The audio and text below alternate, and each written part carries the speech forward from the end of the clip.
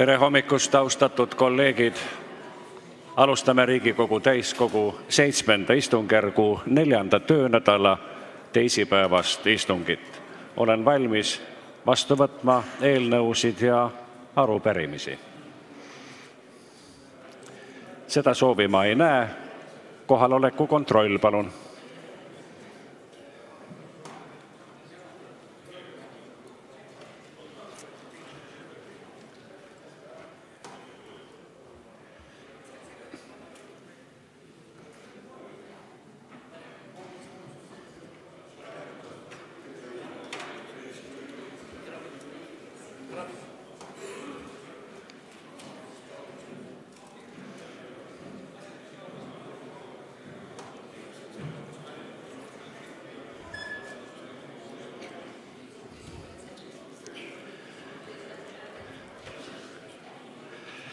Istungist võtab osa 64 saadikut.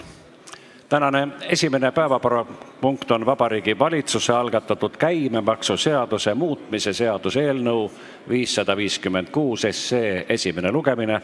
Palun ettekandjaks rahandusministri Toomas Tõniste.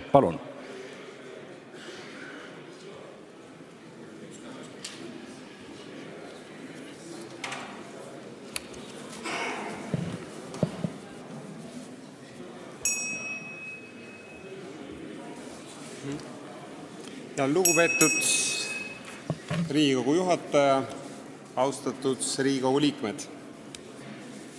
Esimesele lugemisele tuleb siis Vabariigi Valitsuse algatatud käibemaksuseaduse muutmise seaduse eelnõu. Eelnõuga kavandatakse teha kolm sisulist muudatust.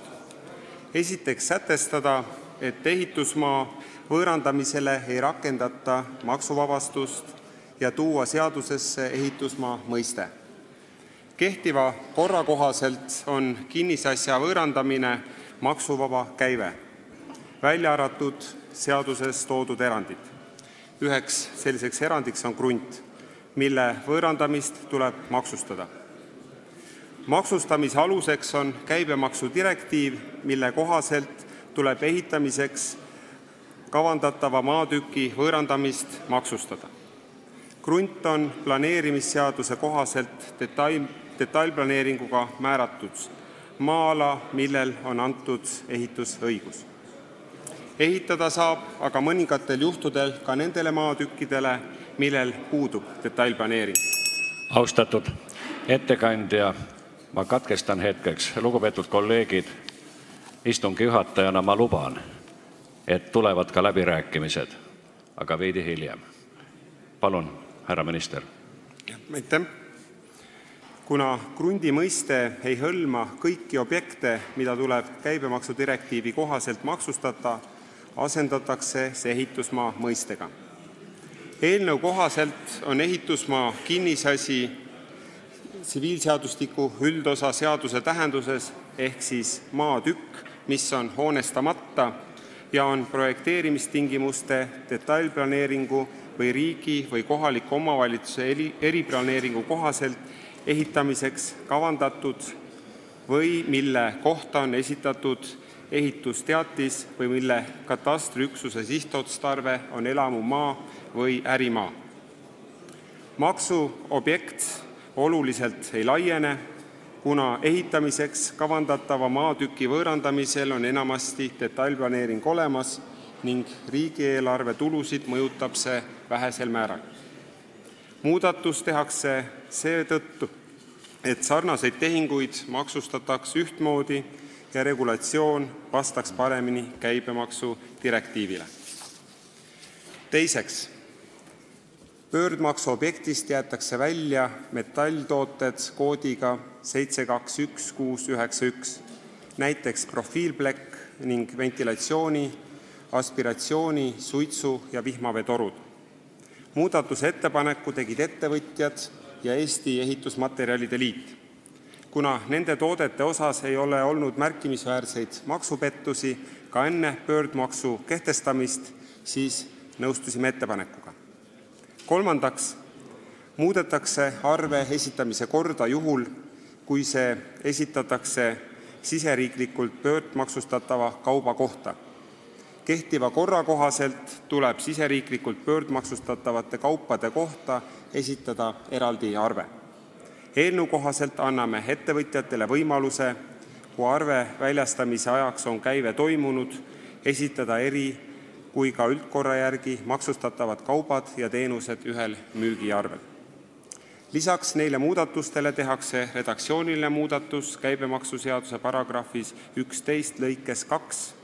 Muudatusega rõhutatakse, et käibe toimumise aja sättes toodud regulatsioon kehtib vaid kauba ühendusesisese käibe korral, mitte teenuse osas. käibemaksuseaduse muutmise seadus on kava, kavas jõustada 2018. aasta 1. aprillist. ehitusmaa võõrandamise maksustamist puudutavad sätted on kavas jõustada 2018. aasta 1. septembrist. aitäh! Kas ministrile on küsimusi? on küll. Aivar Sõerd, palun! aitäh, austatud juhataja! austatud minister!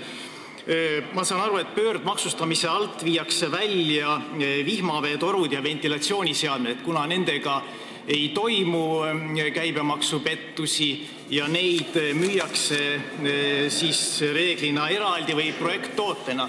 aga ma siis küsin, et aga näiteks noh, veevarustus, veevarustustorustikud või miks neid siis, miks seal on teistmoodi koheldakse, et samamoodi neid müüakse eraldi või projekttootena, noh üks näide, vee, veevarustussüsteemid, miks need erinevad ventilatsioonisüsteemidest?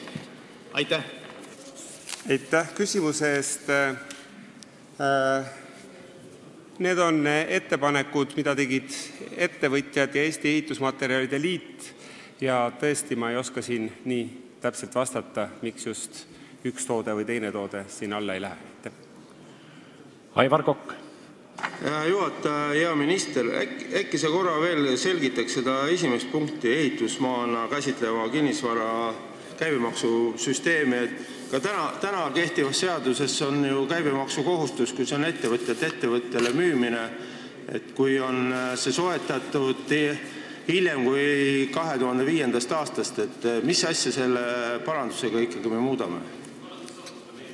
aitäh küsimuse eest täna äh, see krunt on planeerimisseaduse kohaselt siis detailplaneeringuga määratud ala, millel on ehitusõigus. mure on see, et ehitada saab ka mõningatel juhtudel nendele maatükkidele, millel puudub detailplaneering. ja sellepärast tuuakse siis selline mõiste nagu ehitusmaa. Siis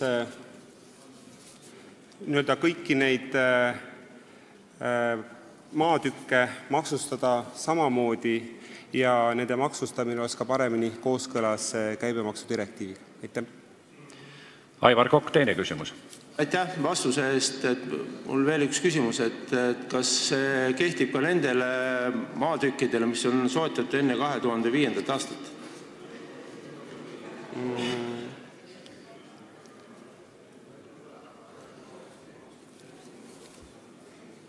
hea küsimus.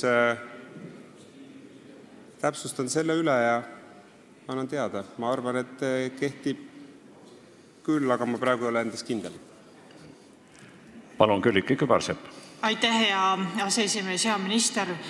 Kas te oskate öelda, kui palju või kui suurtes hulkades meil neid krunte on, mida vaja ehitusmaaks müüa, ehk kui paljusid äh, huvipoole, osapooli ta puudutab?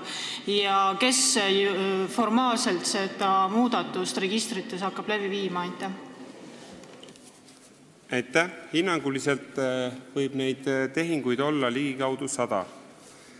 Ja kui me nüüd arvestame keskmise hinna, mis äh, ärimaa ja elamumaa müümisel 2016. aastal oli, see keskmine hind oli siis 4000 eurot, siis äh, kui me räägime eelarve mõjust, siis see võib olla hinnanguliselt kuskil kaheksakümmend tuhat eurot, et see on siis käibemaks sellelt tehingult. Äh, ja neid tehingud vormistatakse samamoodi nagu siiani, selles mõttes mingit muutust ei tule. austatud minister, teile rohkem küsimusi ei ole. juhtivkomisjoni ettepaneku teeb ja ettekande ennekõike teeb rahanduskomisjoni esimees Mihhail Stalnuhhin, palun. Aitäh, härra juhataja, lugupeetud kolleegid, rahanduskomisjon arutas antud seaduseelnõu oma korralisel istungil 15. jaanuaril. kohal oli härra minister, ametnikud Rahandusministeeriumist,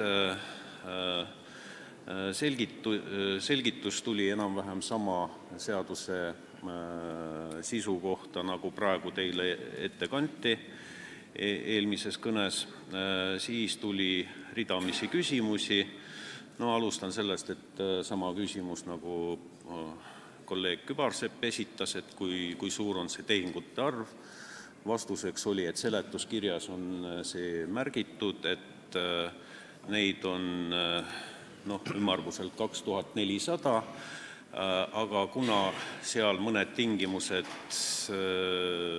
ei kehti, siis neid, mis lähevad selle seadusega maksustamise alla, on no jällegi alla saja, täpsemalt ei ole võimalik, umbes alla saja, ei ole võimalik öelda ja need on tehingud keskmise väärtusega 4000 eurot. Siis küsiti selle pöördmaksustamise kohta ja siis tuli üsna pikk selgitus, et on olemas Eurokomisjoni direktiiv, see on eelnõus seal vastavas punktis siis ära märgitud ja seal on ka kõigi nende toodete, kuidas neid nimetatakse nüüd, koodid ja siit tuleb ka see valik, samas öeldi, et metallsektoris tuvastatud rikkumisi ei ole. Ja me teeme selle muudatuse tänu sellele, et on olemas vastav direktiiv ja muuseas, seletuskirjale on lisatud lisa number üks, kus on siis vastavus direktiivile ära märgitud ja peale selle seaduse vastuvõtmist siis vastavus on juba sajaprotsendiline. Siis oli veel küsimusi et, et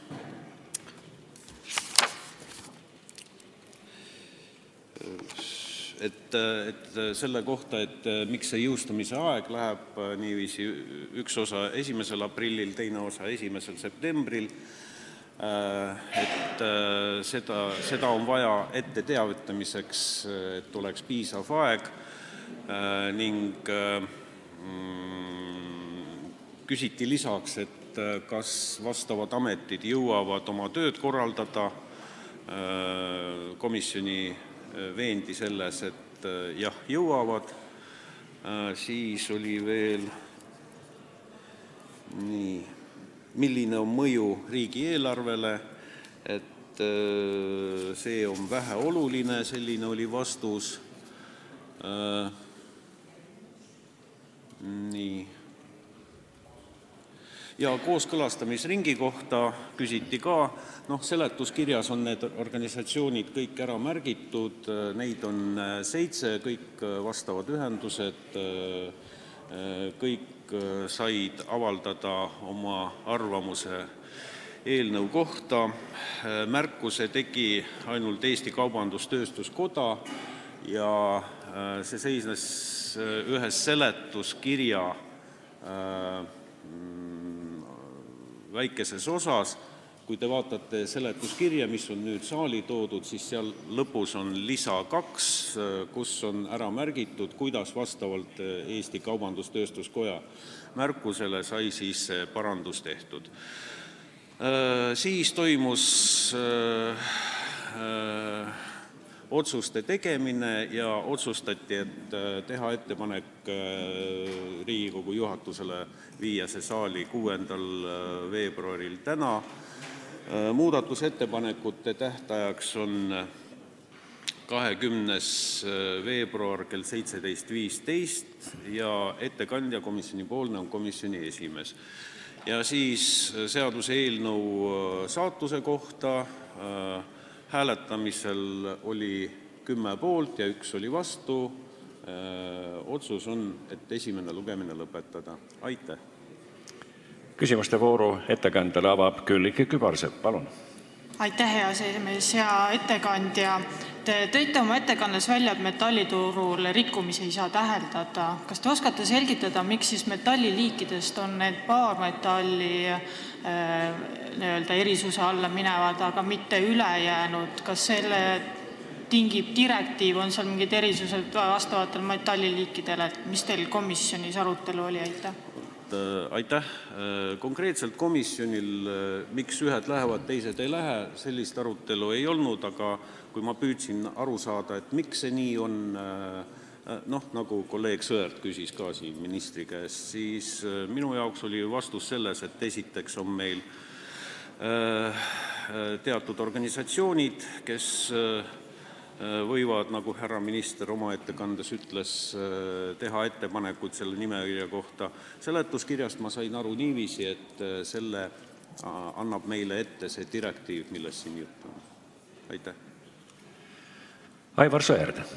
Juhataja, austatud ettekandja, kas siis edaspidi hakkabki nii olema, et mingi organisatsioon tuleb, teeb ettepaneku, noh, nagu annaks mingist luugist taotluse sisse ja ja siis teisest luugist tuleb eelnõu välja, et ongi nii, et tuleb, annab, on mingi erihuvi võtta pöördmaksustamise alt mingid metalltooted välja ja läheb kohe niimoodi seaduse karussell tööle ja me kinnitame ära. kas see edaspidi hakkabki nii olema või? Aitäh! Kui see organisatsioon on Eurokomisjon, siis jah, nii hakkabki see nii toimuma. Kui see on Eurokomisjoni direktiiv, siis täpselt nii see toimubki meil vabariigis. Urmas Kruuse.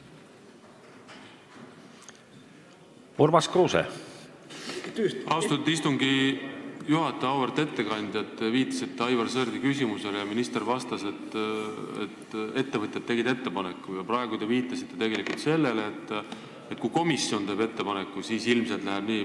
üritaks nagu selgust saada, kas mõlemal on õigus või on ainult ühel õigus, kui minister viitas, et ettevõtjad tegid ettepaneku ja Aivar Sõerd praegu küsis, siis mis see vastus on, kas ainult komisjon või kuidas sellest peab aru saama? Aitäh! Noh, nagu ma ühele küsimusele siin vastasin, et analoogset küsimust komisjonis ei arutatud, et kust see tuli. seepärast komisjonis selle, selle teema kohta mina, lugedes seaduseelnõu, mina sain aru niiviisi, et see vastab direktiivile. aga mul on tegelikult palju vähem infot, kui seda on Rahandusministeeriumil ja rahandusministril. nii et ma arvan, et nii üks kui teine siin käivad kokku. Austatud ettekandja, teile rohkem küsimusi ei ole. Avan läbirääkimised fraktsioonidele. Seda soovi ma ei näe. Juhtivkomisjoni ettepanek on eelnõu 556 esimene lugemine lõpetada. Määran eelnõule muudatusettepanekute esitamise tähtajaks 20. veebruari kell 17.15. Teine päevakorrapunkt Eesti Reformierakonna fraktsiooni algatatud tulumaksuseaduse muutmise seaduse eelnõu 554 esimene lugemine. Palun ettekandjaks Riigikogu liikme Jürgen Ligi.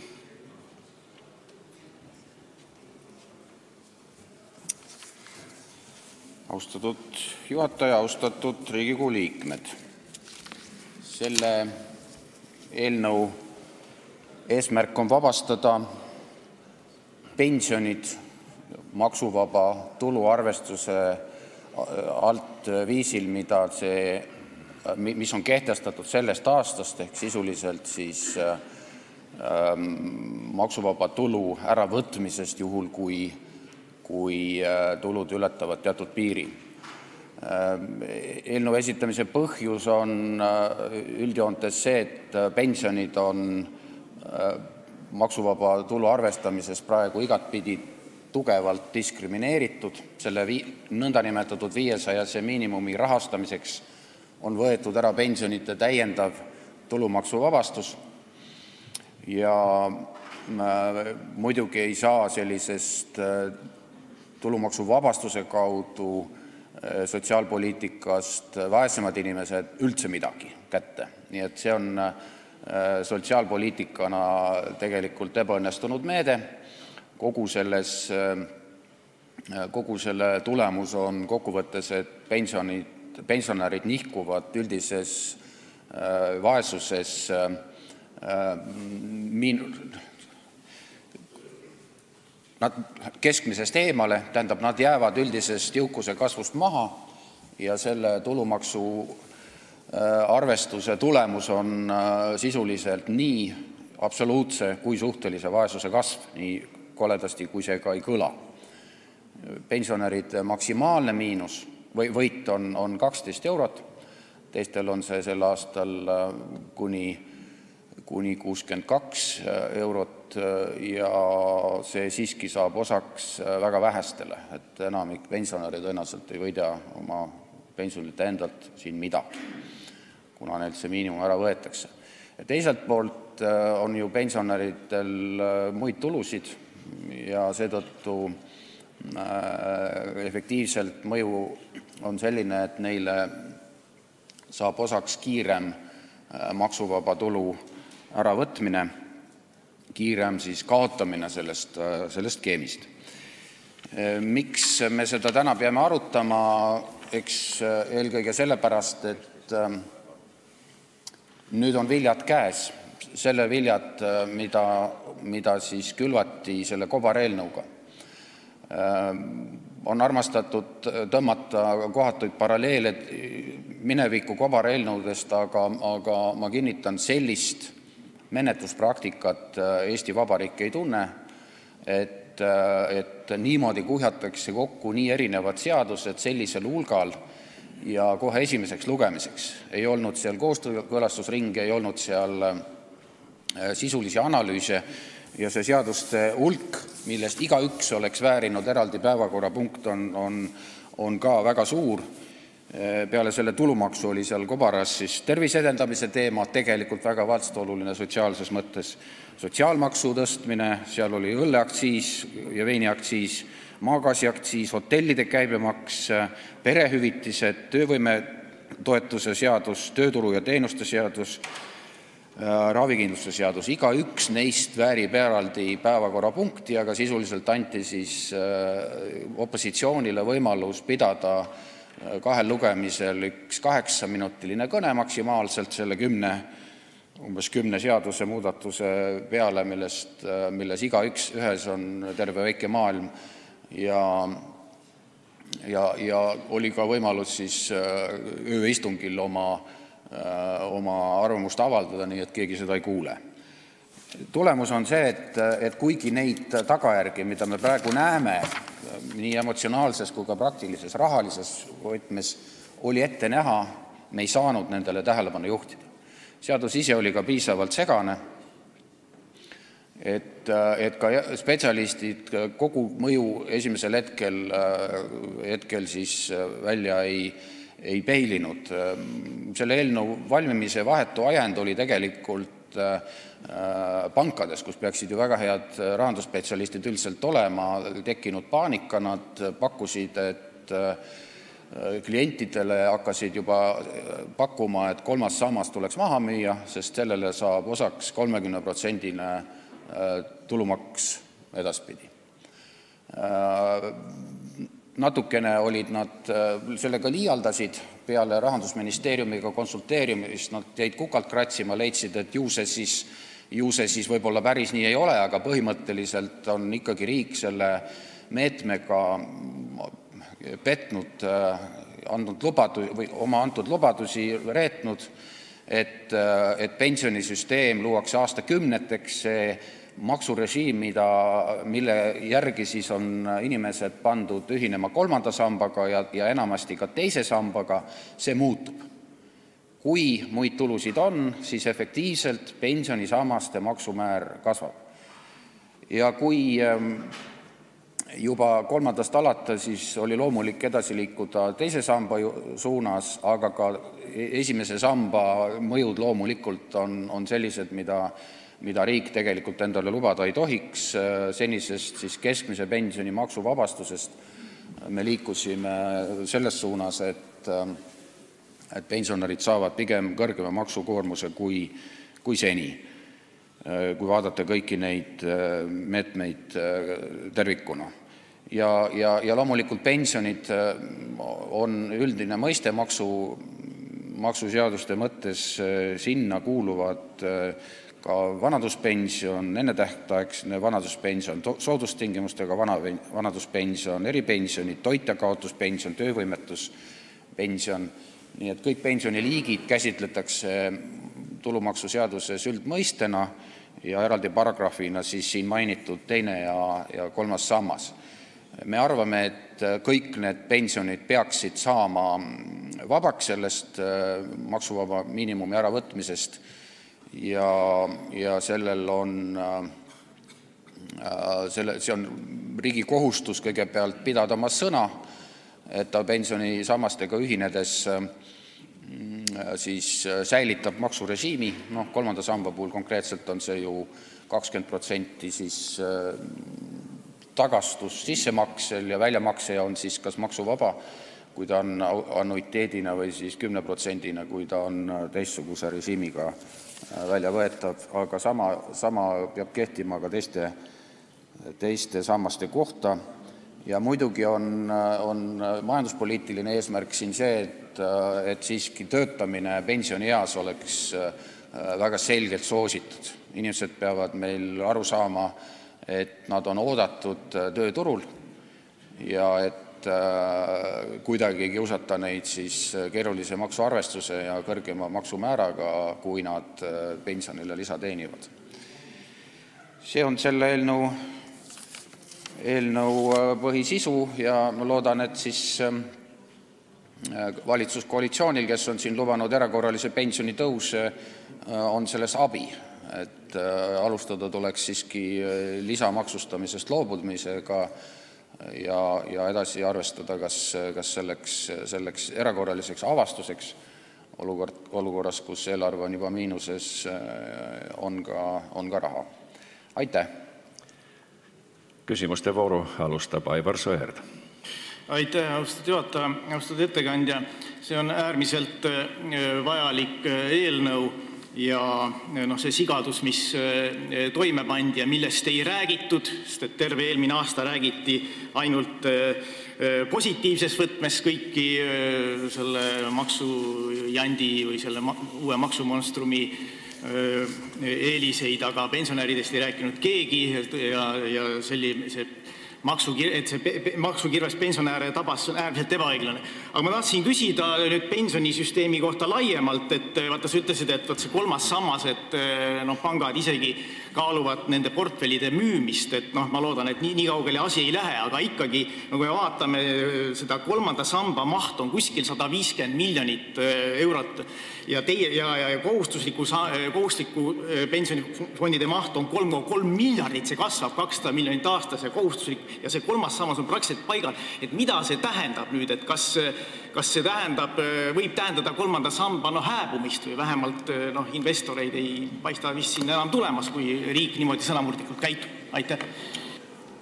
kõigepealt teie sissejuhatusele ma lisaks, et jah, see on tõepoolest sigadus, ma ei tea, kas see näitab valitsuse arengutaset või tema suhtumist valijasse, aga see loosung, et kõik võidavad, kes teenivad kuni tuhat kakssada, on ju algusest peale pettus. ja võidavad veel kuuskümmend neli eurot. Need numbrid on kõik äh, pettus, need on äh,, ei ole hinnatud äh, mitte muutust, vaid on hinnatud siis äh, siis mingisugust rahasummat võrdluses äh, eelmise aastaga, mitte praeguse aastaga, mitte selle RES-iga ja selle poliitikaga, mis oleks selle aasta kohta kehtinud. nii et, äh, igal juhul on tegemist kelmusega selle skeemi puhul ja, on tegemist ka sotsiaalpoliitiliselt äh, ebaõnnestunud meetmega sellepärast, et noh, kes vaatas "Aktuaalset kaamerat", nüüd hakkab siis jõudma see statistika ilma juba selle käkita kohale, et, tõepoolest meil on probleem, et ülalpeetavaid on rohkem ja, töö tegijaid peale ei kasva, et pensionärid hakkavad suhtelises vaesuses jääma järjest, kehvemasse seisu. See meede antud juhul tugevalt annab siin hoogu juurde, me nihutame pensionäre veel suhtelise vaesuse suunas ja paljusid ka absoluutse vaesuse, sest, selle meetme rahastamine tähendab siiski lisakulusid proportsionaalselt eelkõige vaestele rohkem. Need erinevad aktsiisid, elukalliduse tõusud, kõik, mis selle põhjused on, loomulikult see maksuvaba miinimumi äravõtmine, pensionäridelt, see kõik mõjutab neid halvemasse suunas, aga tõepoolest, on, mida siis kodanikul on võimalik kõige selle demograafia asja vastu teha ja tegelikult riigil kohustus vastata, on ju olnud teine ja kolmas sammas. Kolmanda samba äh, ebapopulaarsus on tegelikult natukene müstiline, inimestele oleks pidanud pigem tegema tugevamat riiklikku propagandat selle, ühinemiseks, kuid praegu on, on andmed ikkagi need, et, et ka kolmandasse sambasse siis äh, makstakse tunduvalt vähem äh,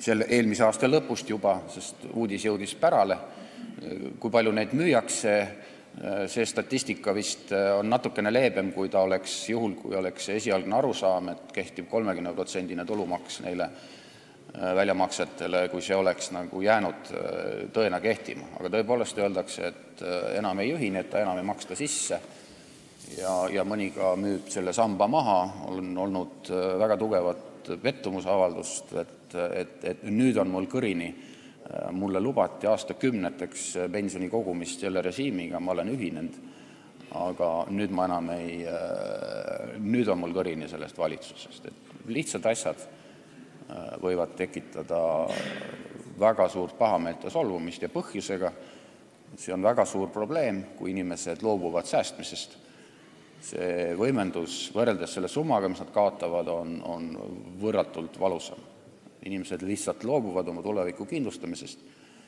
ja, siis riik peab tõmblema, avastab kuskilt, et oi, meil on palju pensionäre, mis nüüd teha? tõstaks neil nüüd erakorraliselt pensioni, aga tõsta millestki loomulikult ei ole, sest ei saa ju vähe, vähenevat arvu töötajaskonda lisamaksustada. Vanad talupojatarkused üles otsida, koguda mitte ainult kirsturaha, vaid ka pärandust, jätta midagi Äh, olukordadesse, kus, tõepoolest inimene enam hakkama ei saa, need võivad olla pikk eluiga, need võivad olla ka haigused, need võivad olla väga erinevad sündmused elus, milleks peab inimeseni ise hakkama valmistuma. kolmas sammas oli see võimalus. ainus paindlik riiklikult toetatud säästmisrežiim, millest paremat ei ole võimalik välja mõelda. aitäh! Tarmo Kruusimäe. tänan,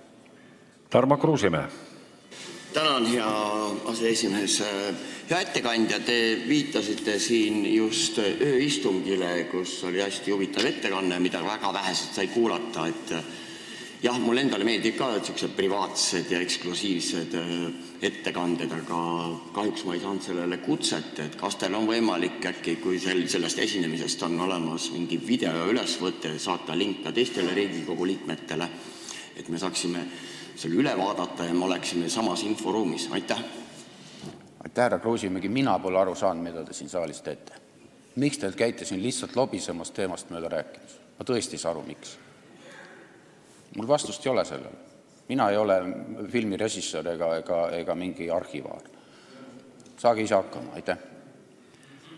palun, Urve Tiidus aitäh, juhataja, lugupeetud ettekandja, et sellele eelnõule on andnud oma arvamuse ka Vabariigi Valitsus. Ja selles arvamuses kõlab äh, niisugune jutt, et töötavatele pensionäridele või ka üldse pensionäridele erandi tegemine tähendaks teiste isikugruppide ebavõrdset kohtlemist äh, ja igasuguste soodustuste tegemine justkui ei ole põhjendatud. palun, Jürgen Ligi, kommenteerige valitsuse seisukohta, seda ebavõrdset kohtlemist pensionäride suhtes. Äh, jah, see on päris naljakas iseenesest niisugune copy-paste lõik, et mul on olnud aastaid võimalus selliseid jamasid enda allkirjastatavatest tekstidest välja võtta.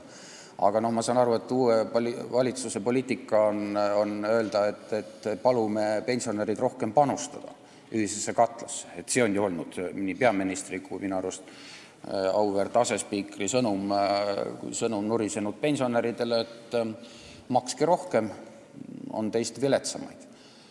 noh, mul on, raske nagu nad armastavad öelda, et, neid on valijad usaldanud, meid ju, eks ole, nii ei ole usaldanud, nemad on võimul, me oleme opositsioonil, mis me väetikesed ikka saame öelda. aga see kõlab küüniliselt, äh, on, on reaalsus, kus me oleme kõik ühtemoodi äh, osalised ja kui nii tohib öelda, süüdlased ja ainus võimalus on seda siiski kollektiivselt ähm, noh, äh, käsitleda ühiselt aru saada, et tulebki säästa, tulebki neid raskusi ületada ja, tulebki hakkama saada vähema töötajate arvuga ja rohkemate ülalpeetavate arvuga. Kõige parem on seda isiklike säästude kaudu leevendada, igalühel eraldi ka. aitäh!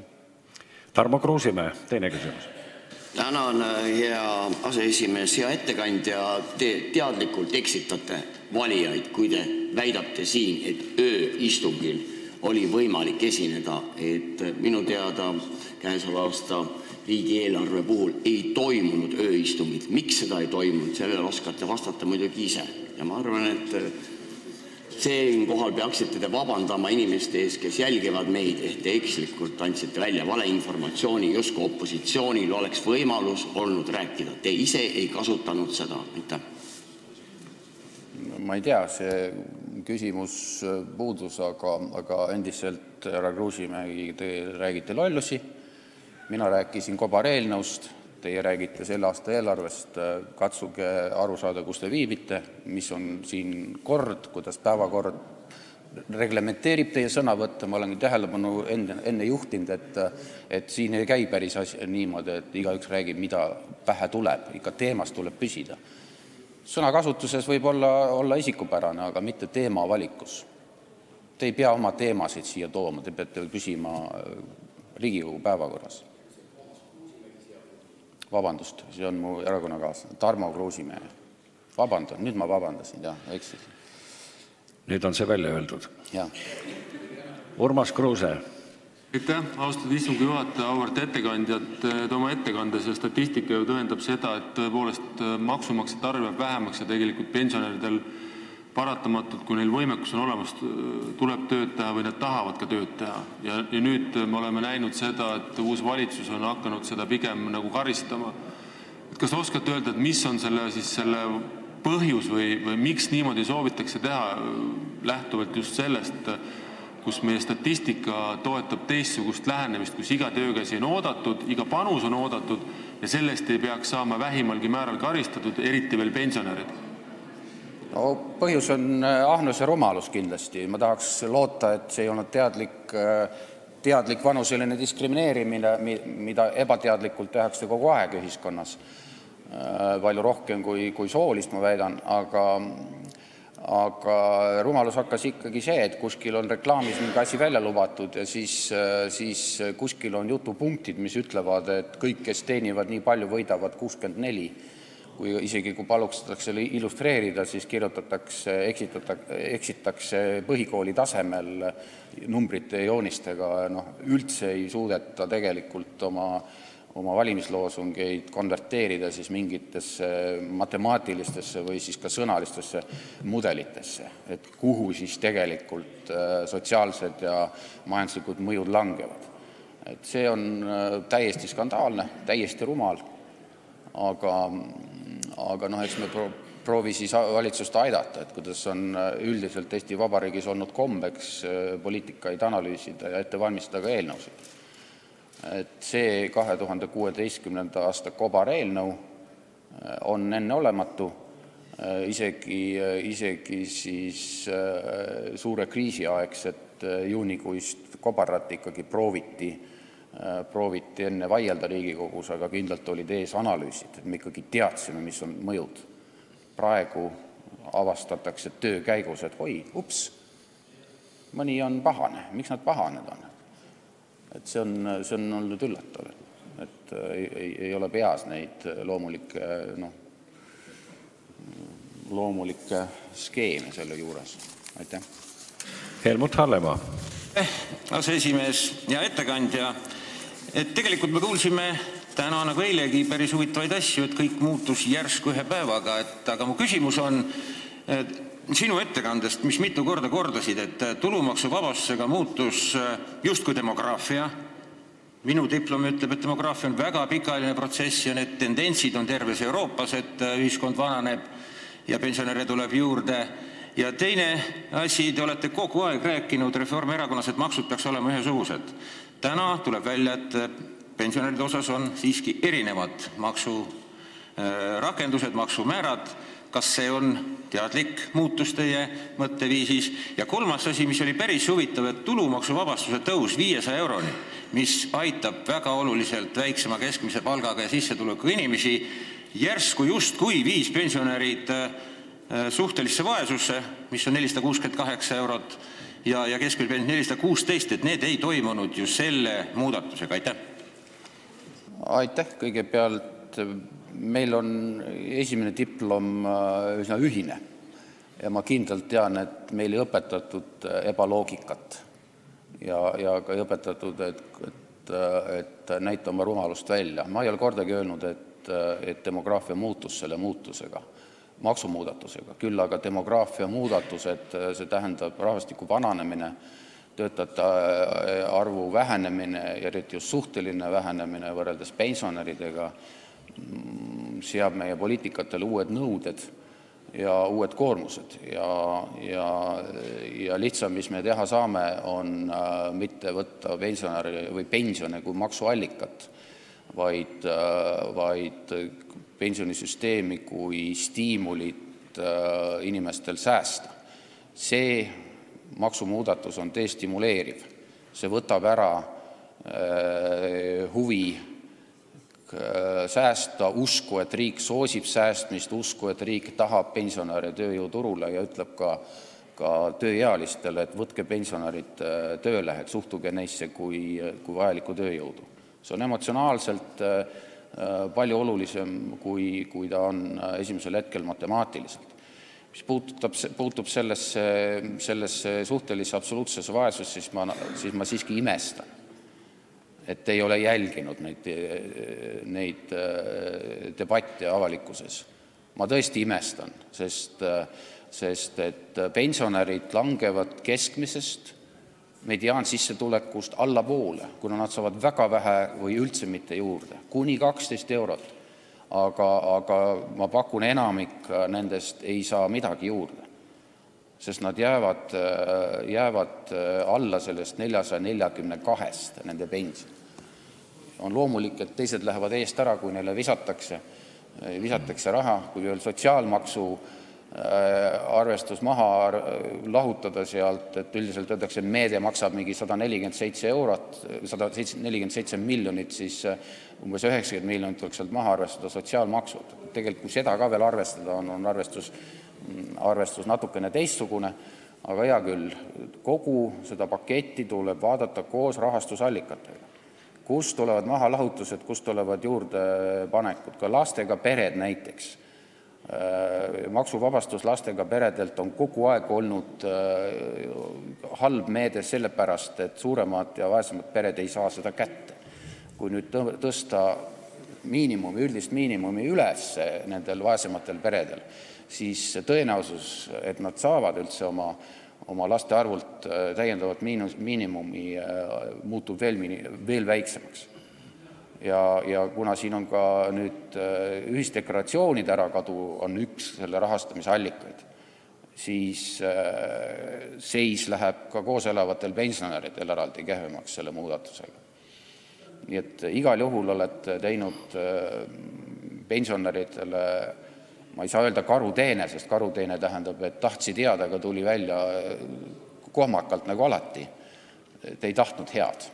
Te tahtsite võtta sealt, kus võtta tundus olevat lihtne, et rahastada seda, kinnisideed, mida kõik äh, erakonna esimehed viimasel pressikonverentsil kiitsid, aga mida nüüd vaikselt hakatakse kahetsema, täpselt sama nagu õlleaktsiisiga. Või veiniaktsiisiga, kõik olid väga õnnelikud ja kiitsid, nüüd vaikselt hakatakse ütlema, et oleks pidanud ikka teda mõtlema ka natukene. aga see on kobareelnõu tulemus. Aitäh. küsijale ma tuletan meelde, et et esimese lugemise ajal on küsijail võimalus esitada kaks küsimust, ükskõik kummale siis üks, et pigem ärge kasutage võimalust ühe minuti sees küsida kolm küsimust, kuulajail on ammu nendest esimene juba meelest läinud. Urve Tiidus, teine küsimus. aitäh, juhataja! Lugupeetud ettekandja! Ma küsin kolmanda pensionisamba kohta. see sündis kakskümmend aastat tagasi ja selle kohta öeldi, et algus ei saanud vedama, aga siis inimesed siiski mõistsid, et säästmine ja kogumine enda tuleviku tarbeks on mõttekas tegevus. väga motiveeriv selle juures oli seesama tulumaksuvabastus ja ka selline lause, et maksusüsteem sellisena püsib ja säilib. no nüüd me näeme, et kõike on siiski võimalik muuta aga tollal oli suhteliselt laiapõhjaline arusaam kolmanda pensionisamba printsiipide kohta. et eh, mis peaks tegelikult toimuma, et see algne tahe, uuesti nagu taastuks? Te nimetasite siin, et pangad on justkui öelnud, et, nagu kolmas sammas on, pole nii edukas, kui ta oleks võinud olla aga mis peaks tegema? Aitäh ma arvan ikkagi see säästmise vaim äh, on midagi, mida tuleb inimestesse sisendada, mingeid täiendavaid soodustusi sellesse sambasse ei olegi mõtet teha, sest see on nii selgelt eelistatud äh, äh, säästmisviis. aga, just selle säästmisvaimu propageerimine oleks õige ka valitsuse poolt selgelt selle tulumaksumuudatuse mõju on vastupidine, mida valitsus tegi, me pakume sellele lahendust ja pangad tunnevad ennast tõesti narrina, sest nad on teinud väga aktiivset müügitööd, et inimesed ühineksid äh, teise sambaga. nüüd nad on selle kolmanda samba müügitöö minu andmetel lõpetanud, ma ei küll, äh, saa kätt südamele panna, aga ma olen äh, küsinud nende käest Õnneks nad ei tee seda müügitööd, et müüge nüüd ruttu maha, äh, riik tuleb kolmekümne protsendiga kallale. aga igal juhul on see reetmine. see on ühiskonna suhtes tervikuna reetmine, sest äh, demograafia ei ole midagi, mis, mis peaks siis äh, mingisuguse valitsuste kukkumistega nagu ununema, meil oli kinnismõte, et paneme ka edasi, eks ole. aga aastakümneteks antud lubadus tegelikult, kui nii tohib öelda, ka tuhandeks aastaks võetud kohustus, mis puudutab siis äh, inimeste hakkamasaamist ka vanas eas, et see on äh, praegu on reedetud,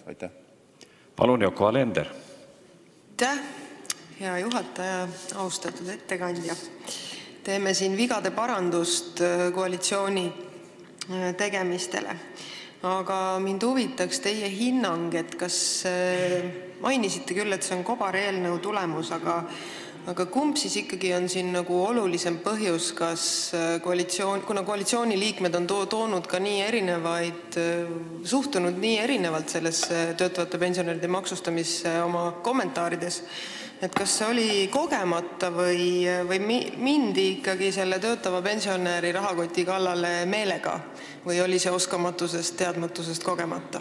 aitäh aitäh, see on tegelikult hea küsimus, sest äh, ma tean, kuidas valitsused tegelikult otsuseid langetavad, äh, mina ei usu, et äh, valitsustel ei olnud materjali, mis näitas, kust raha võetakse. selleks oli väga selged pildid, mida neile pakuti ja, nad teadsid täpselt, kellelt nad raha ära võtavad, et, saaks kuidagi need partsumunad üle värvitud. see on tegelikult, üsna küüniline kalkulatsioon ma suudan isegi ametnike loogikat siin äh, mõista, sest nad peavad kuidagi selle jama kaelast ära saama, mõnele meeldib see isegi ja kuskilt, aga, sotsiaalsed mõjud on antud juhul äh, läbi arutamata. aga mu meelest valitsuse liige peab olema tasemel, kus ta ei pea arvutama, kus ta, unes aru saab, mis juhtuma hakkab. ja noh, kontrollisin igaks juhuks üle ka selle kobareelnõu seletuskirja ja, leidsin kõik need asjad, mis puudutavad nii laste eelise kadumist kui, pensionäridelt võtmist, kui neid muid, äh, mõjusid. mida ei ole muidugi noh, seal adekvaatselt kirjeldatud, et, kus need maksimaalsed võidud on, kui palju tegelikult osa saavad, eks ole, see viimane ots jääb alati mõjutamata. kogu aeg räägitakse, et me võitleme vaesusega, ebavõrdsusega, et vaesus, nagu ütles Jevgeni Ossinovski, pidi veel suurem vaenlane olema kui homo või venelane või üksik naine. niisugune loosung oli tal üleval. ja noh, tema võib selliseid loosungeid endale lubada, aga, ta ei tohiks lubada seda, et ta laseb läbi sellised poliitikad, mis tegelikult vaesust suurendavad, ebavõrdsust. suhtelise vaesuse näitaja iseenesest on väga sotsialistlik, kaheldav, suhteline vaesus jääb alati, ta on ammendamatu demagoogia allikas, aga, kui juba sellega nii palju vehitakse ja siis, siis peab ka seda konkreetsetes poliitikates arvestama. minu arust tegi Jevgeni Ossinovski isegi mingi komisjoni kus, mis peab vaatama, kuidas mõjub iga poliitika vaesusele. äkki küsiks talt järgmine kord, et härra Ossinovski, te tegite selle komisjoni, mida ta ütles selle tulumaksuvabastuse mõju kohta vaesusele? absoluutsele, suhtelisele. lubasite, käisite välja, palun nüüd rääkige ja lükaku see ümber. Ma ei olnud vist päris esimene või ütleme nii, et ma ei olnud päris ainus, kes sedapidi hakkas kohe mõtlema, et kuulge, see ju ei aita kuidagi vaeseid. See pigem lükkab pensionäre vaesuse poole, suhtelise vaesuse poole, ja, need lisakohustused, need rahastusallikad, aktsiisid, maksuvaba miinimumi äravõtmine, need kõik ju tegelikult koormavad, koormavad seda tulu alumist otsa. lükake ümber. Minu arvestused, et see suurendab nii absoluutset kui suhtelist vaesust, sest kõik selle asja rahastamine, maksukoormuse nih-, nihkumine leibkonniti ja inimesi pidi on üks tervik. see ei ole ainult üksikakt. aitäh! Toomas Kivimägi. aitäh, härra juhataja, lugupeetud äh, ettekandja. Eesti majanduse vaieldamatult kõige suurem probleem on äh, lähiajal tööjõupuudus. Ja ma arvan, et äh, valitsuse otsus maksustada pensionäride töötamine täiendavalt on kahtlemata kõige halvem just signaalina pensionäridele et me tegelikult teie tööjõudu ei vaja, või ma ütleks isegi veelgi enam, et see on tegelikult täiesti küüniline maksustada nende inimeste töötamist, kes tegelikult on juba oma pensioni välja teeninud. on oma maksud ära maksnud selleks, et nii-öelda pensioni saada. nüüd ta on valmis veel ühiskonda täiendavalt panustama ja nüüd me võtame veel tema käest. Äh, ma lootsin ka tegelikult, et äh, see oli koalitsiooni eksitus, et nad ei pannud tähele suures tormamises, aga sa just eelnevalt väitsid, et äh, et tegelikult oli see seletuskirjas väga selgelt ja üheselt olemas, minu arvates on see eriti küüniline tõepoolest teadlikult maksustada pensionäre täiendavalt nende töötamise eest. kas see on tõepoolest nii? jah. Aga, ma võin kinnitada seda sõnadega, et, et seletuskiri oli äh, näitas, et, ka mõistusega inimesed on seaduse tegemise juures olnud Nad on äh, põhipunktid vähemalt üles leidnud, kuidas toimub maksukoormuse nihkumine äh, üksikmeetmete kaudu. aga mis tegemata oli minu jaoks, oli see sotsiaalne mõju. mida on lubanud Jevgeni Ossinovski, kui selle nime juurde tagasi pöörduda, mind häiris väga, kui ta sellise komisjoni moodustamisest teadis, sest et sel teemal võib noh, allutada ühele näitajale terve maailma ja edaspidi meil ongi oktoobrirevolutsioon, kus võtame siis noh, väga hea on ju vaesust nii likvideerida, et võtame neilt, äh, kellel on. aga noh, õnneks ei ole see niimoodi vägivaldselt tööle hakanud, vaimselt ta võiks kaasa mõelda. kui me deklareerime, et ebavõrdsus, vaesus on, nagu kõige suuremad probleemid, siis äh, tunnistame ka, kui me midagi valesti teeme. antud juhul on äh, minu arust ilmselge, et suur hulk inimesi langeb äh, vaesuse suunas, see ebavõrdsuse näitaja suureneb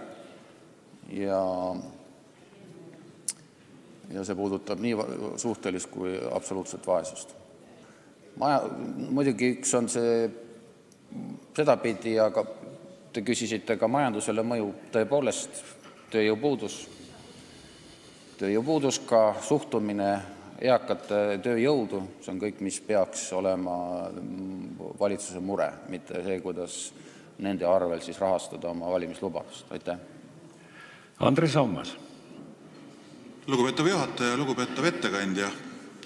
kui me olime koos rahanduskomisjoni koosolekul, kus, seda eelnõu arutati, siis jäigi selgusetuks selle eelnõu võimalik rahaline mõju riigieelarvele, kuna Rahandusministeeriumi esindajal kas ei olnud neid andmeid või ta ei tahtnud neid meile öelda.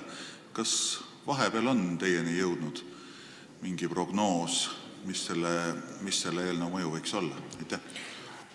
aitäh! Siin on üks asjaolu, et mul jäi üles tunnistamata, ei ole valmis teksti kunagi mul ees, mul üles tunnistamata, et seletuskiri äh, ei olnud päris selge. me täiendasime ju, nagu ma kirjeldasin eelnõu sündi, äh, äh, selle, eelnõu mõju, jäi seletuskiri korrigeerimata, et see ei puuduta ainult äh, kolme sammast, see puudutab ka muid pensioni. Ja see oli üks põhjus, miks ka need arvutuse võimalused siis noh, olid nagu teistsugused, aga me testisime ka ju seal komisjonis, et meie hinnangul on see paarikümne miljoni ulatuses selle eelnõu mõju ja ametnik äh, tundus, jäi sellega rahule. nii et kindlasti kui, äh, pensioni saab kuidagi jõukohaselt tõsta, nii nagu ma arvan, et me kõik tahaksime jääda jõukohaste tõstmiste juurde, siis äh, ausus maksustamisel võiks olla see õige meetod, ka selline, mis töötamist ei diskrimineeri ja, ja, ja muide tulude teenimist. sest muude tulude alla võib kuuluda lihtsalt kinnisvara või maa müük või metsa müük või kuskilt saadud dividendid nii, et ei ole lihtsalt nii, et on töötav pensionär, ju kõik tulud lüüakse nüüd ühte patta. ja, ja ühisdeklaratsioonide eelis ju kaob sisuliselt ära, mis võimaldab vabastusi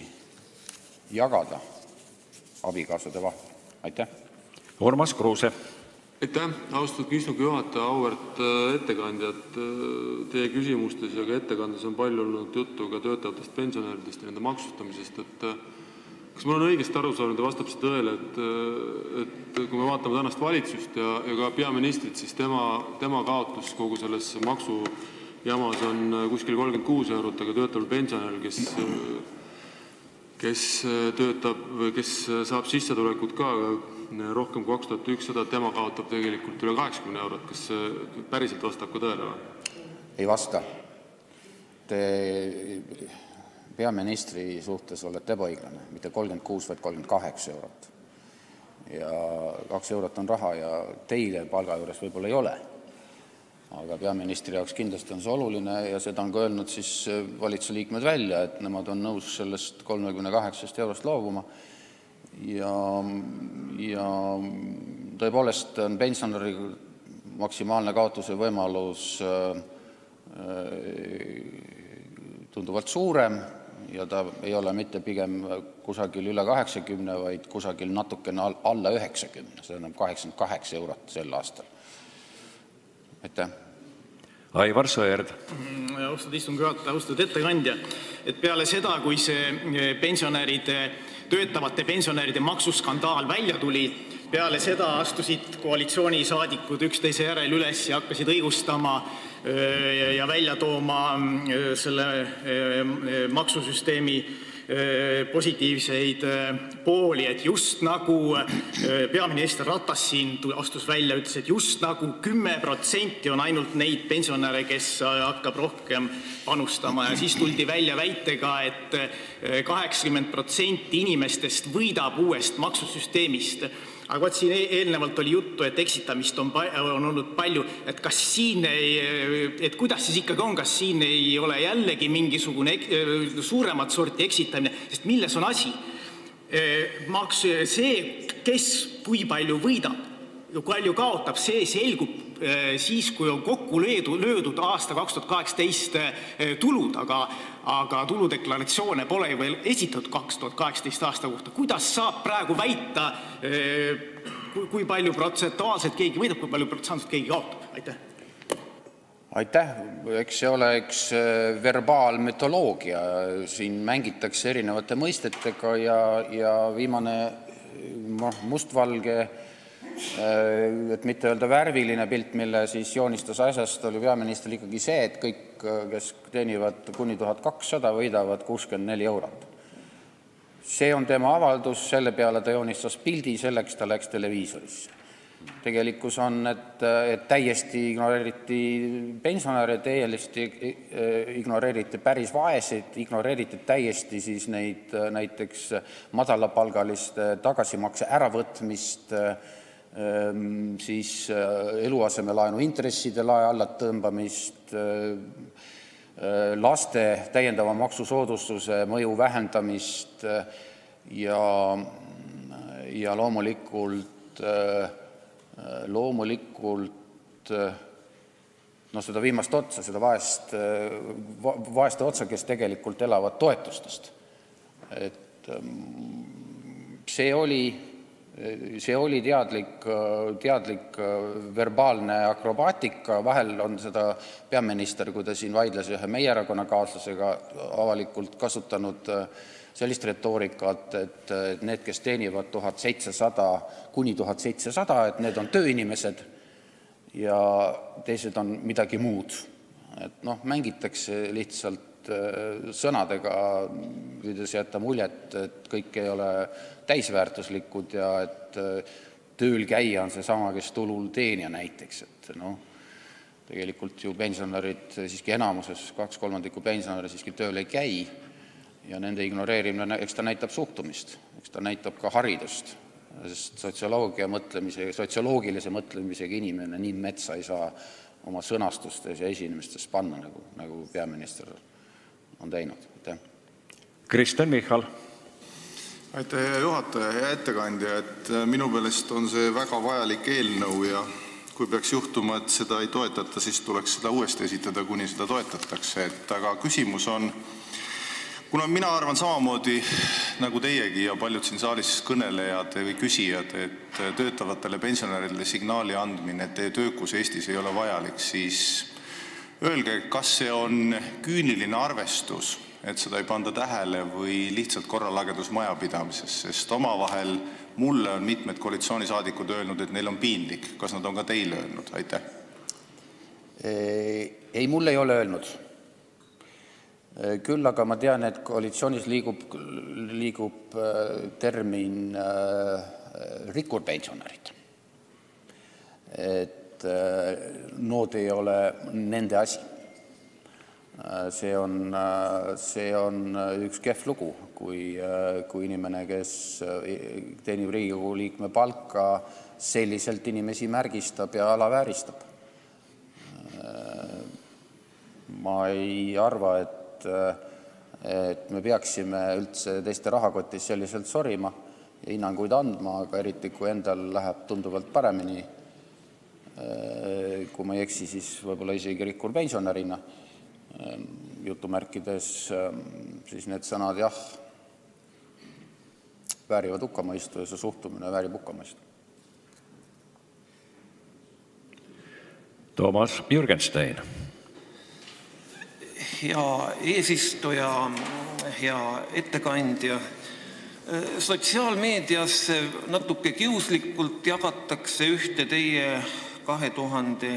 Toomas Jürgenstein. hea eesistuja, hea ettekandja, sotsiaalmeedias natuke kiuslikult jagatakse ühte teie kahe tuhande neljateistkümnenda aasta seisukohta, kus te ütlete, et pensionärid on võrreldes teiste maksumaksjatega eelisseisundis. kuidas te täna seda seisukohta mõtestate? aitäh! aitäh, täpselt nagu kahe tuhande neljateistkümnendal aastal, põhjus oli äh, seda esile tuua, sest tol ajal neil see täiendav maksuvaba miinimum oli ja praegune valitsus äh, selle neilt ära võttis.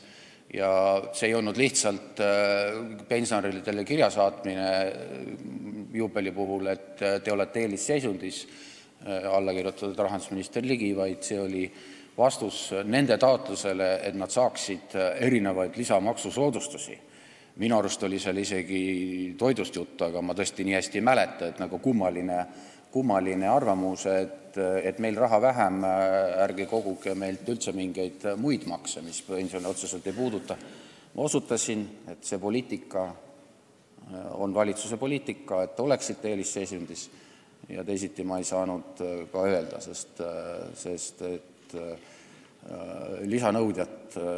lisanõudjatele tuleb alati olukorda kirjeldada ja ma ei häbene seda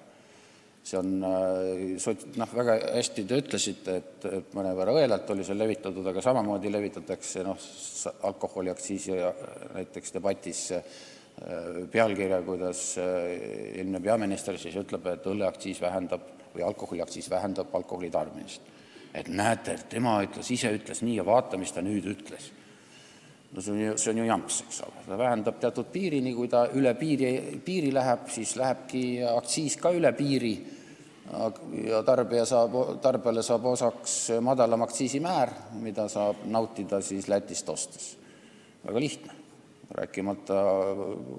rääkimata, julmemast salatorust mille osa tegelikult on osa piirikaubandusest, aga üldiselt ikkagi on kõik pealkirjad lihtsustused teatud eeldustel, kaasa arvatud see, mida välja nopiti kirjast pensionäridele ja mida ma endiselt kinnitan, ma mõtlen samapidi. aitäh! aitäh ka teile, austatud ettekandja, rohkem küsimusi ei ole. juhtivkomisjoni poolse ettepaneku teeb rahanduskomisjoni esimees Mihhail Stalnuhhin. Aitäh, härra juhataja, lugupeetud kolleegid! rahanduskomisjon arutas seda seaduseelnõu 22. jaanuaril käesoleval aastal tutvustas selle sisu kolleeg Ligi, nii ta tegi seda ka siin saalis, ma ei hakka seda selge see üle kordama. Siis valitsuse esindaja teatas valitsuse otsuse, see on kirjalikult olemas eraldi kirjana, see on veebist kättesaadav ja on teine põhjus, miks ma ei hakka praegu selle sisu teile edasi andma, seda enam, et mõned asjad on siin veel kõlanud, aga sellest veidi hiljem. Siis toimus mõtete vahetus, esitati küsimusi, üks küsimus oli täpselt see, mida küsis kolleeg Ammas täna siin saalis ja selleks, et selle teemaga oleks selge, ma loen selle ette, kuigi ma pole harjunud siin lugema, et sooviti teada, milline on eelnõu rahanduslik mõju riigieelarvele. Ma loen sellepärast, et see vastus, mis on protokollis jäädvustatud vastavalt lindistusele, on üsna erinev sellest vastusest, mille andis eelkõneleja. Eelnõu algataja selgitas, et kaasneb mõningane tulude laekumise vähenemine ning riigi eelarvestrateegia ettevalmistamise käigus tuleks sellega arvestada ministeeriumi esindaja täpsustas, et mõju riigieelarvele on, aga kuna eelnõust ei selgunud, milliseid pensione täpsemalt on silmas peetud, siis on summat raske öelda. algataja nõustus, et eelnõu seletuskirjas on vajakajäämisi ja väitis, et eelarve mõju analüüsi on raske teha, kuna lähteandmed ei ole kättesaadavad. seda rääkis algatajate esindaja, mitte ministeeriumi esindaja nii, nüüd räägiti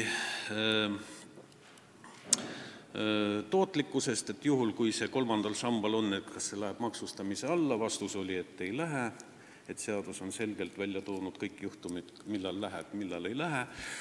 ja oli veel üks küsimus, küsiti, et äkki tekib selline oht, et kolmandast sambast hakatakse massiliselt siis osakuid välja võtma siin kommentaar oli selline, et tegelikult muutub see maksustamise ütleks tehnoloogia alates järgmisest aastast, nii et hetkel on seda raske ennustada. komisjon peale seda võttis vastu mõned otsused, üks oli see, et saata saali täna kuuendal, see oli kons-, konsensuslik otsus määrata komisjonipoolseks ettekandjaks komisjoni esimees, ning hääletati läbi siis menetlemine, ettepanek lükata tagasi esimesel lugemisel. Poolt oli 6, vastu oli 5, nii et ettepanek leidis toetust. Nüüd, me ei hääletanud muudatusettepanekute laekumist, aga juhul, kui seda komisjon ei tee, siis kehtib reegel, et 10 päeva, et 20. kell 17.15, nagu eelmise eelnõuga. Ja nüüd ma lähen üle teisele osale, et eile ma sain teada oma fraktsiooni esimehelt, et koalitsiooninõukogu on arutanud seda küsimust, et on selge, et meil oleks vaja tõsisemalt võtta neid probleeme, mis on seotud teise ja kolmanda sambaga, elu annab infot juurde, ideaalseid seadusi ei ole olemas, täna mulle meenub, mitu aastat siin saalis arutati ja menetleti võlaõigusseadust, kui mälu ei peta, mingi viis-kuus aastat ja lõppes sellega, et mehed, võtame vastu, muidu me mitte kunagi ei saa selle seadusega hakkama ja pärast hakkame juba seda korda tegema. nii et äh, koalitsiooni äh, otsus on selline, et äh, me toetame selle eelnõu äh, menetlemise jätkamist äh, igal juhul loodame, et valitsusest tuleb selleteemaline eelnõu, siis me saaksime neid ühendada. hetkel see eelnõu, mis minu ees praegu on, minu arvates on vormiliselt veidi raskevõitu, üks paragrahv, mis viitab korraga neljale paragrahvile, kui teeks seda korralikult, siis tooks need muudatus, muudatused äh, konkreetsete lausetega nendesse paragrahvidesse, noh. No see on juba rohkem maitse küsimus, aga see teeks seaduse selgemaks igal juhul. nii et see on see teine põhjus, miks ma valitsuse arvamust ei hakanud teile ette lugema. me täna toetame esimese lugemise lõpetamist, praegu ma räägin nii Keskfraktsiooni kui minu teada kogu koalitsiooni nimel. aitäh! Ma täpsustan äsja öeldut, kas see oli keskfraktsiooni või teie komisjoni otsus? tähendab, komisjoni otsusest ma rääkisin, komisjoni otsus häältega kuus viis on esimesel lugemisel tagasi lükata, tõenäoliselt kui mingi fraktsioon siin Riigikogus teeb ettepaneku see läbi hääletada ja esimene lõpetada, siis me liitume enamasti ja hääletame selle otsuse maha ja esimene lugemine läheb edasi. ja meil esmakordselt tekib selline võimalus, et koalitsiooni ja opositsiooni eelnõud lähitulevikus ühendatakse, mis näitaks koostööd seniorite Eesti nimel, mida varem pole ma siin küll kunagi näinud. aitäh! ettekandjale on ka küsimusi. Kristen Michal. aitäh, hea juhataja, hea ettekandja! mul jäigi enne juhataja täpsustust natuke segaseks, et kelle positsioon nüüd seal laual on, et kas te kordaksite nüüd selgelt üle, et komisjon otsustas eelnõu mitte toetada, kus on koalitsioon enamuses, aga koalitsiooni poolt te teete siiski ettekandjana ettepaneku seda eelnõud edasi menetleda, aitäh! jah, te saite kummalis, kummaline küll, aga te saite õigesti aru Jürgen Ligi. ma ei tea, ma olen jahmunud, ma ei tea, kas ma suudan nüüd formuleerida seda küsimust, aga ma proovin. et äh, ei, ma ei suuda aga hea küll, et mida täpselt mõtlesite sellega, et protokollis on midagi erinevat sellest, mida ma puldis rääkisin? puldis ma tunnistasin seletuskirja ebaselgust, põhjendasin seda siis selle eelnõu sünnilooga ja tunnistasin, et täpsed arvutused olid selle tõttu ka raskendatud ja, kirjeldasin ka, et et riigiametnik jäi rahule meie hinnanguga, paistis jäävat rahule, et, et eelarve mõju on paarkümmend miljonit. aga mis täpselt siis selles jutus vale oli või protokolliga võrreldes teistmoodi, aitäh? aitäh, mul tekkis praegu võimalus vastata korraga kahele Riigikogu liikmele. ma tuletan teile meelde, et on olemas selline asi nagu stenogramm, Tarmo, eks ju, kui sind huvitab, ma ei tea, kas videot on võimalik leida, kui palju neid hoitakse, aga stenogrammid on täitsa olemas, eks ju.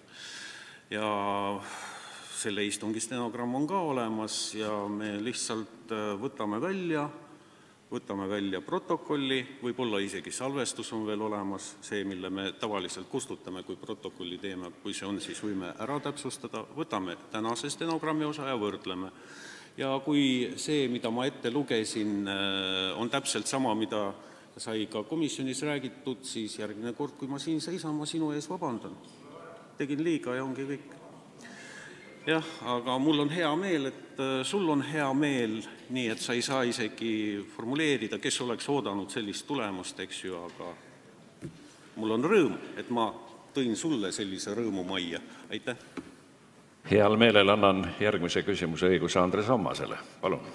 lugupeetav eesistuja, lugupeetav ettekandja, hea meel koalitsiooninõukogu otsusest innustab küsima sealt edasi, kas koalitsiooninõukogus oli juttu ka võimalusest muuta tulumaksuseadust rohkem kogu see IRL-i sinna sokutatud küür ja, nähtus, mida rahvasuu on hakanud nimetama partsimunadeks, kogu see süsteem tagasi pöörata jälle mõistlikumale rajale, mitte üksi teha vigade parandust ainult töötavate pensionäride ja, pensioni maksustamise osas, aitäh! aitäh!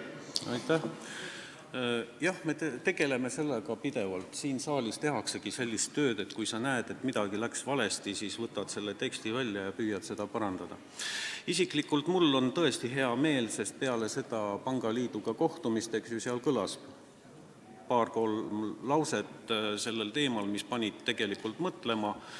Ja kuigi minu jaoks oli üllatus ja ma selgitan, miks ma ei saa vastata tegelikult sinu küsimusele, ma ei kuulu koalitsiooninõukogusse, millest nad seal konkreetselt rääkisid, ma ei tea, mulle teatati see otsus ja ma annan selle edasi, mul on ettepanek härra ettekandjale, tõstke mikrofonid niinimetatud Andres Herkeli positsiooni, siis on paremini kuulda. Arto Aas, ehk kõrgemale natukene. Aitäh tahaks ettekandjalt küsida, mis siis ikkagi juhtus selle paari nädala jooksul, kui komisjonis hääletati koalitsiooni poolt see eelnõu maha, aga hiljem otsustati toetada, et kas selle ümbermõtlemise põhjuseks oli, oli väga suur pensionäride pahameel sellise poliitika üle või valitsuse kivina kukkunud reiting, mis pani meeleheitlikult otsima siis uusi lähenemisi? aitäh! aitäh! Ma siin poliitilist retoorikat ei harrasta eriti. ja reitingute vastu mind huvitab minu raamatute reiting Rahva Raamatus. see on, kõige tähtsam reiting, ja viimane, mis mind üldse huvitab, nii et kui tekib võimalus, siis Arto, eks ju, no sa võid ju küsida, siin on mitu inimest, kes tegelikult juhatavad fraktsioone, võid paluda, et mõni ajakirjanik seda nende käest küsiks, eks ju. ma, tunnistan, ma, lihtsalt ei oska seda kommenteerida, sest vist ma ei ole piisavalt poliitik. Valdo Randpere aitäh, lugupeetud eesistuja, hea ettekandja. et kui mikrofone tõsta ei viitsi, siis võib põlvest natukene alla kalastada, siis tulemus on sama. aga see oli ainult ääremärkus.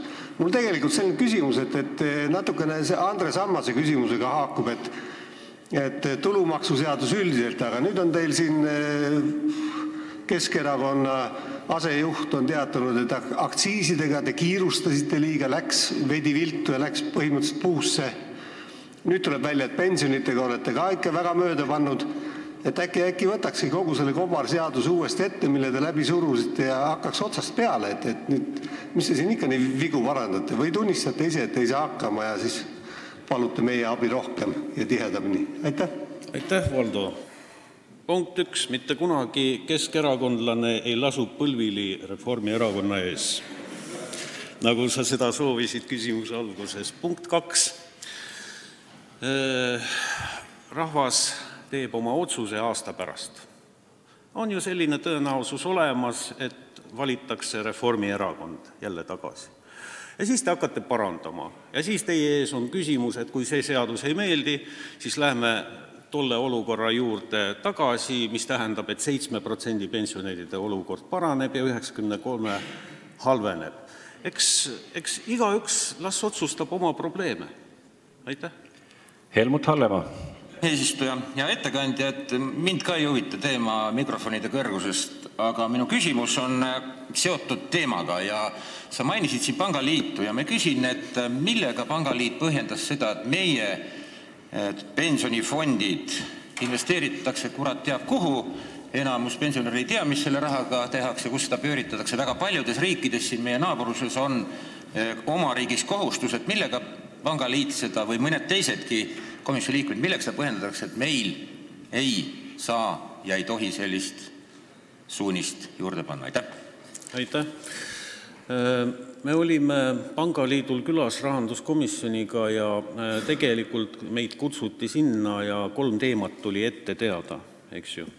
Ja äh, nende hulgas ei olnud öö, pensionisambaid, eks ju. see oli täiendav küsimus, mis esitati ja esitati väga konkreetselt, et kuidas on nende sisse- ja väljamaksete olukord ja seal jäi kõlama niiviisi, kui ma midagi äh, äkki segi ajan, siis kolleegid, kes seal kohal olid, parandavad, aga kõlas see niiviisi, et saldo on äh, tavaliselt olnud äh, positiivne keskmiselt kuskil kaks pool miljonit, eks ju, kuus, ja detsembris, oli ju detsembrist juttu, eks ju, oli see otse vastupidi, miinus kaks pool miljonit. ja seda teemat, Äh, kus on tootlikkus suurem, kuhu oleks mõtet äh, rohkem nagu raha panustada, kas on Eestis selliseid võimalusi üldse, et äh, raha hakkaks tööle siin meie majanduse huvides, noh, samas ka pensionäride huvides. seda ei olnud, me, me, meil nende teemadega, mida me seal Pangaliidus rääkisime, niigi läks aeg üle selle kokkulepitud aja. Et, aga küsimus on huvitav jah, ja seda küsimust arutab praegu väga lai ring spetsialiste, miks ei toimu Eestis, kas meil puudub selline võimalus? Austatud ettekandja, teile rohkem küsimusi ei ole, avan läbirääkimised fraktsioonide esindajaile juhuks, kui midagi on veel välja ütlemata. tundub, et kõik on ära räägitud juhtivkomisjoni ettepanek on eelnõu 554 SE esimesel lugemisel tagasi lükata ja vaatamata mitmetele seletustele me lähtume siiski oma põhireeglitest ehk me paneme selle ettepaneku hääletusele.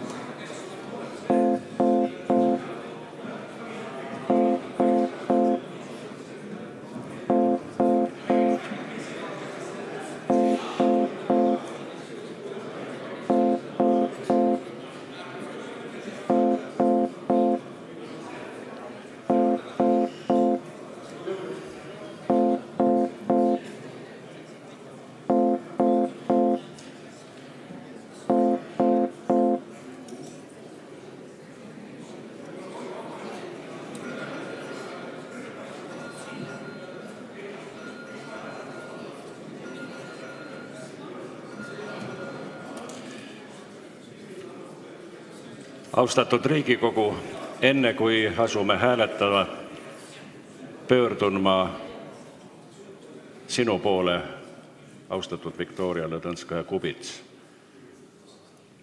Riigikogu kolleegide poolt avaldan sulle südamest kaastunnet väga lähedase inimese kaotuse puhul. ja nüüd panen hääletusele juhtivkomisjoni ettepaneku eelnõu 554 esimesel lugemisel tagasi lükata. palun võtta seisukoht ja hääletada.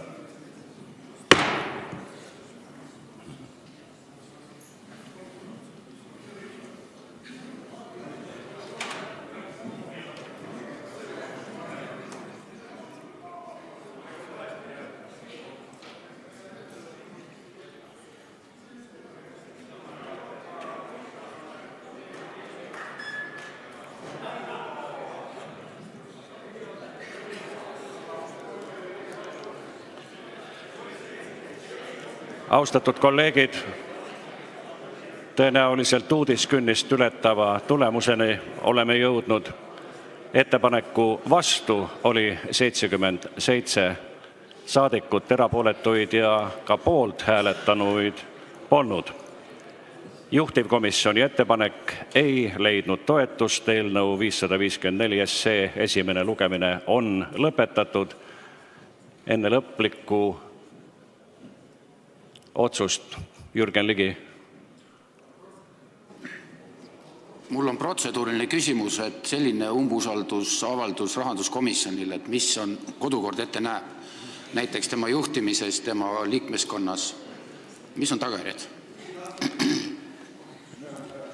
sellele võiks vastata pikalt ja põhjalikult, ma ütlen lühemalt. riigikogu juhatuse valimised on märtsis, riigikogu valimised on märtsis aasta pärast määran eelnõule 554 muudatusettepaneku esitamise tähtajaks 20. veebruari kell 17.15. kohtumiseni homme siinsamas saalis. head tööpäeva jätku!